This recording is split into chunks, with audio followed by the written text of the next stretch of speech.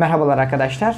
Şimdi şunu merak ediyor olabilirsiniz. Türkiye'de tıp fakültesi okuduktan sonra ben yurt dışında doktorluk yapabilir miyim? Amerika, İngiltere, Almanya gibi ülkelerde doktorluk yapabilir miyim? Ee, nasıl aşamalar var ya da maaşları ne şekilde diye merak ediyor olabilirsiniz. Ben de merak ediyordum. Tüm bunların hepsini araştırdım ve sizlerle beraber paylaşmak istiyorum aslında bu bilgileri.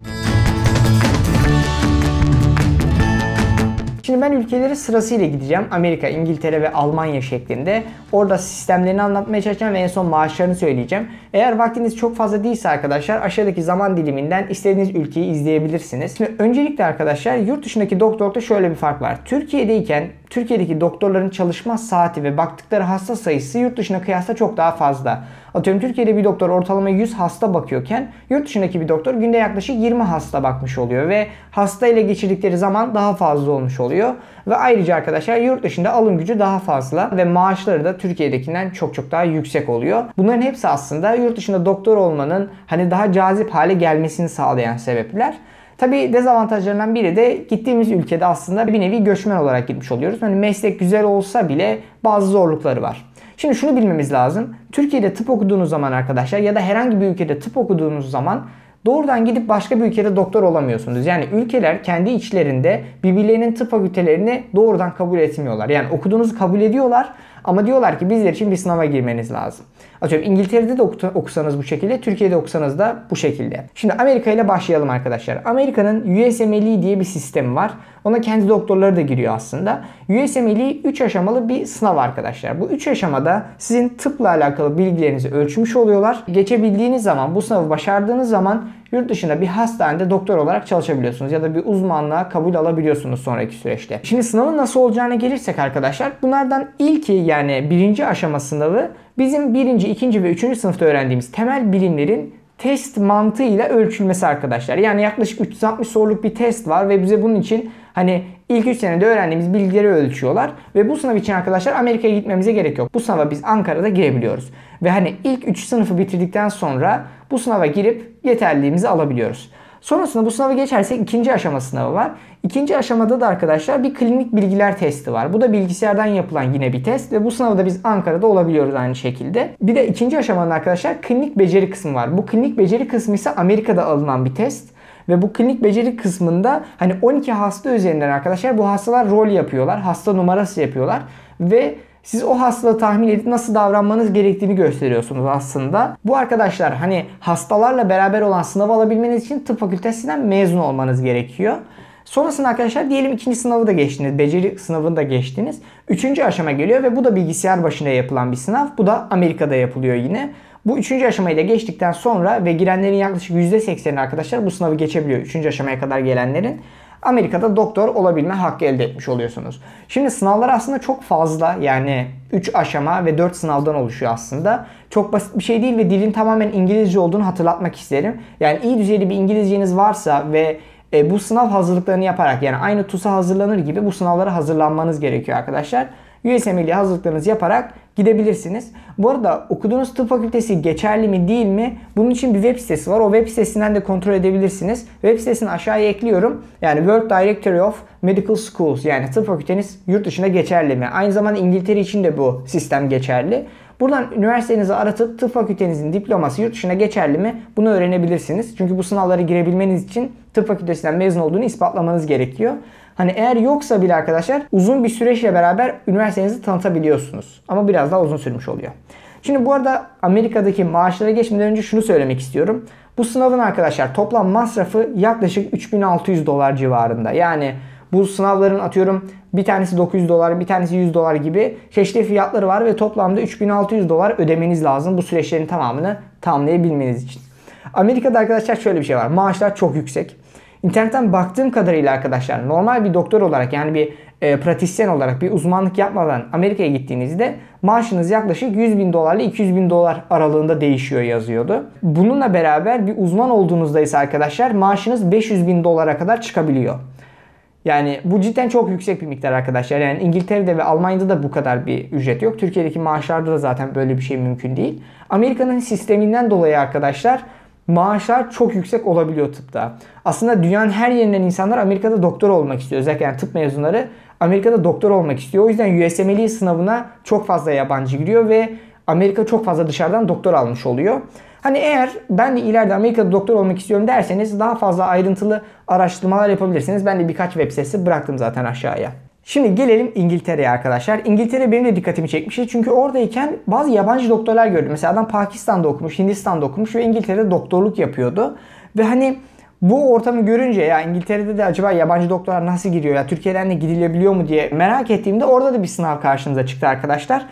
Aynı daha demin size fakültenizin geçerliliğini doğrulamanız için bir web sitesi söylemiştim ya. Oradan yine kontrol edebilirsiniz. Eğer tıp fakültesi geçerliliğiniz varsa arkadaşlar PLAB diye bir sınav var. PLAB testi dedikleri.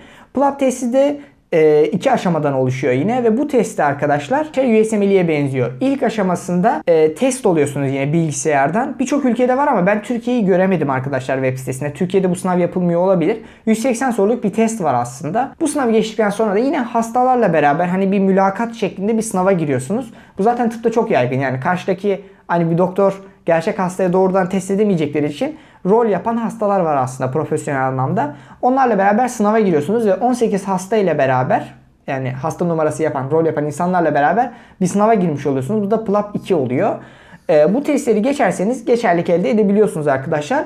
Bir de İngiltere için dil testi almanız lazım.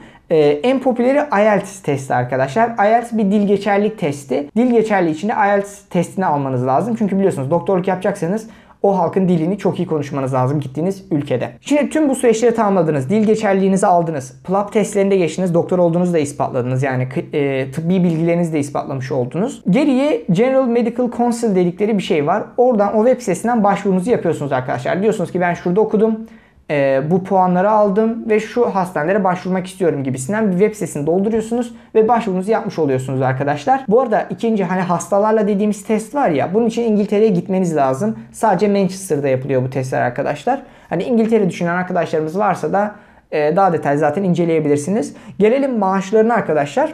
Amerika kadar yüksek değil İngiltere'deki maaşlar. Ee, başlangıç maaşı 38 bin pound. Bunlar bu arada arkadaşlar yıllık. Yani Amerika için söylediklerim de yıllık e, İngiltere için de yıllık. Yıllık 38 bin pound gibi bir maaşla başlıyorsunuz. Uzman olduğunuzda ise bu da 40 bin ile 74 bin pound aralığına çıkmış oluyor. Ve hani İngiltere'de şu olay var. Çalıştığınız yıl arttıkça maaşınız artıyor arkadaşlar. Yani ilk başlangıç maaşları bu şekilde. Atıyorum uzun yıllar çalıştığınız 100 bin pound daha fazlasına çıkabiliyorsunuz. Ve e, İngiltere'de arkadaşlar bir vakit geçirdiğim için söyleyebilirim. Çok pahalı bir ülke değil. Yani bu miktarlarla çok rahat yaşayabilirsiniz ve alım gücünüz çok yüksek olmuş olur. Amerika ve İngiltere'yi inceledik arkadaşlar. Kendi tıp sınavları var. Bir de dili için geçerlik sağlamanız lazım. Ve maaşlar da yüksek. Gelelim Almanya'ya arkadaşlar. Almanya'da da yine tıp e, diplomanızı aldıktan sonra bir kuruma başvurmanız lazım. Ben bu kurumun adını söyleyemiyorum. O yüzden şuraya yazacağız arkadaşlar. O kuruma başvuru yapıyorsunuz. Tıp okuduğunuza dair belgelerinizle beraber, diplomanızla beraber başvuru yapıyorsunuz.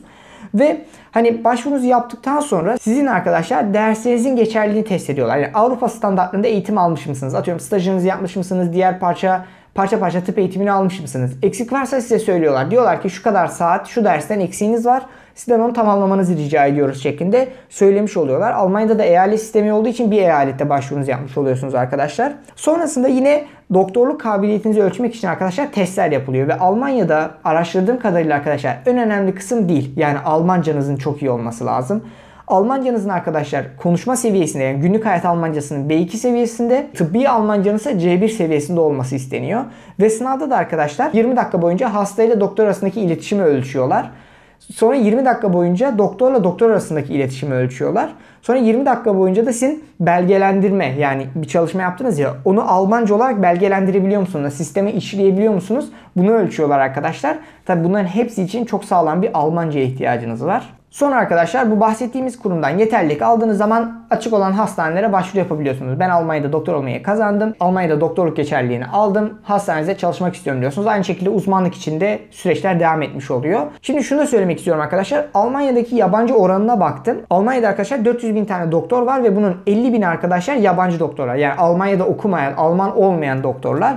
Bu da hani düşük bir şey değil arkadaşlar. 400 binden 50 bini yurt dışından geliyor aslında. Hani birçok ülkeden Almanya'ya gitmek isteyen çok var tabii ki. Yani oradaki alım gücünden dolayı, yaşam standartlarından dolayı gitmek isteyen çok fazla doktor oluyor. Hani şey de söylemek isterim. Bunlar imkansız mı? Bunlar hani çok zor mu diye düşünüyor olabilirsiniz ama yapan birçok insan da var. Bu sistemler işleyerek hani yabancı doktor alımlarını çokça yapmış oluyorlar. Almanya'daki maaşlara gelelim. Arkadaşlar Almanya'daki maaşlarsa asistan doktor olduğunuzda yaklaşık 65 bin euro gibi bir miktar oluyor arkadaşlar yıllık. Uzman olduğunuzda da 80 bin euro gibi bir maaşınız olmuş oluyor. Aile hekimiyseniz arkadaşlar o da 4400 euro gibi aylık bir maaşınız olmuş oluyor. Ve hani uzman doktor olduğunuzda ise arkadaşlar aylık maaşınız 5800 euro ile 7400 euro aralığında değişmiş oluyor. Maaşları da bu şekilde. Eğer siz de hani tıp fakültesinde okuyorsanız ya da ileride tıp okumayı düşünüyorsanız ve yurt dışında doktorluğu düşünüyorsanız bu bahsettiğim sistemler üzerine araştırma yapabilirsiniz. Ama şunu unutmamanız lazım. Ben Türkiye'de doktor oldum. Giderim istediğim ülkede doktorluk yaparım gibi bir durum olmuyor. Her ülke başka doktoru, yurt dışında okuyan doktoru e, kendi standartlarında bir elemek istiyor. Ona kendi bir sınavlarını yapıyor. Aynı şekilde Türkiye'de arkadaşlar yurt dışından gelen doktorlar aynısını yapmış oluyor. Denklik alabilmeniz için sınavlara sokmuş oluyor sizi. Tıp o kadar böyle serbest hareket edebileceğiniz bir alan değil. Yani belki bir bilgisayar mühendisinden böyle bir sınav sistemi istenmiyor arkadaşlar. Ama durum sağlık olduğunda, doktorluk olduğunda böyle sınavlara girmeniz gerekiyor. Ve şuna dikkat etmeniz lazım. Yurt dışında doktorluğu düşünüyorsanız dil gerçekten karşınıza çıkıyor arkadaşlar. Çok iyi skorlarda dil bilmeniz lazım. Ve bu sınavlara yönelik arkadaşlar çalışma yapmanız gerekecek. Zaten YouTube'da çok fazla kanal var. USMLE ile alakalı ben çok fazla videoya denk geliyorum. USMLE nasıl çalışılır, hangi kaynakları kullanmak lazım gibisinden.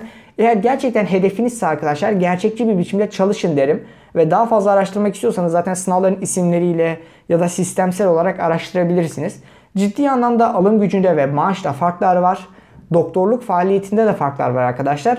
Ama aynı zamanda ülke değiştirmiş oluyorsunuz. Daha farklı bir yaşam karşınıza çıkmış oluyor. Bunların hepsini düşünerek araştırabilirsiniz. Ben bu videoda arkadaşlar 3 tane ülkeyi ele almaya çalıştım. Belki hani isterseniz merak ettiğiniz ülkeler, ülkeler varsa o ülkeleri de araştırabiliriz. Belki onlarla alakalı da birkaç video yapabilirim. Daha çok bunlar hani karşıma çıktığı için daha çok Amerika, İngiltere ve Almanya'da doktorluk göz önünde olduğu için bu videoda bunlara değindim. Hepinize iyi çalışmalar arkadaşlar. Görüşmek üzere.